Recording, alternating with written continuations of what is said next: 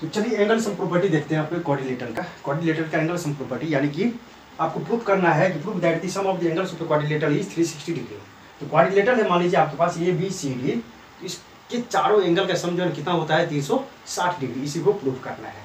Okay तो हमने क्या किया कि let A B C D भी एक क्वाड्रिलेटर मान लीजिए कि आप ए बी सी डी क्या एक क्वाड्रिलेटर है। Okay join A C A और सी को आप क्या कीजिए?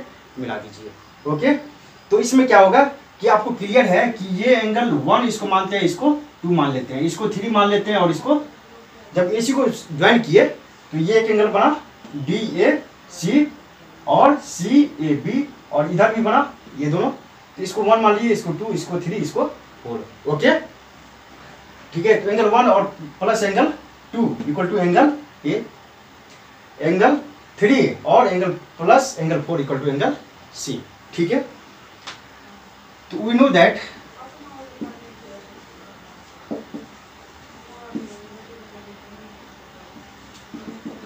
in a triangle triangle में क्या होता है? Sum of we know that in a triangle sum of all angles of a triangle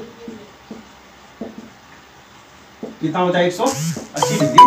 तो इस ट्रेंगल में बात कीजिए तो in triangle A B C में ए बी सी क्या होगा? Angle two plus angle B plus angle four कितना होगा? 180 डिग्री। इसको मान लीजिए, चलिए।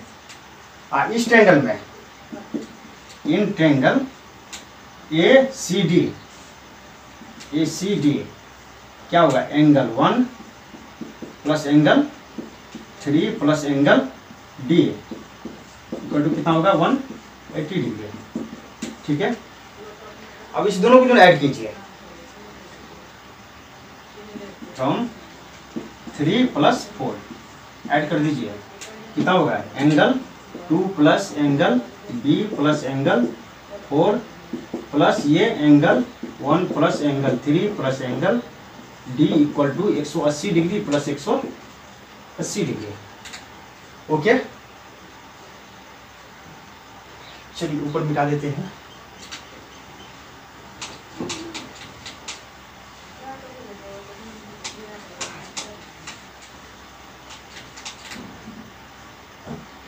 कितना हो जाएगा ये? इसको एक साथ कीजिए वन और टू को। वन टू और वन को। Angle one plus angle two को एक साथ कर लीजिए। थ्री और फोर को थ्री और फोर को एक साथ कर लीजिए। एंगल बी रन बी ले लीजिए।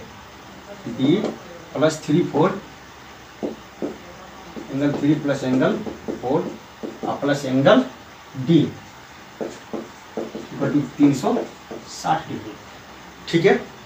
आपको from one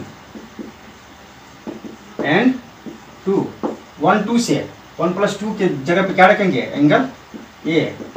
Angle B. और थ्री फोर की जगह पे क्या रखेंगे? थ्री फोर की जगह पे एंगल सी रखिए। और plus angle B equal to तीन सौ साठ डिग्री तो आ गया आपको चारों एंगल का सम कितना आ गया?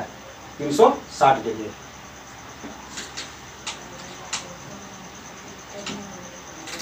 हो गया प्रूफ हो गया। Hence sum of all angles of a quadrilateral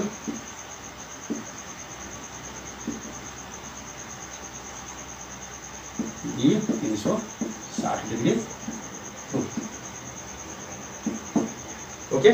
इस तरह से हम प्रूफ कर सकते हैं। कुछ ये ए बी सी डी जो है क्या करना है? कोरिलेटर मानना है। ए सी को ज्वाइन कर देना है। दो ट्रेंगल बन गया। इसके ऊपर जो है एक ट्रेंगल इसके नीचे दूसरा ट्रेंगल ठीक है? इसमें ट्रेंगल का जो है ना सब प्रॉपर्टी लगा देना है तो ये, तीनों को जोड़ के 180 के बराबर करना है ये तीनों को जोड़ के 180 के बराबर करना है दो इक्वेशन आएगा इस दोनों को जोड़िए आपको ये आ जाएगा। ठीक है? यानी कि चारों एंगल का सम कितना आ गया? तीन सौ साठ डिग्री हो गया। ठीक है? अब इस इसके आगे नेक्स्ट वीडियो में देखेंगे। ओके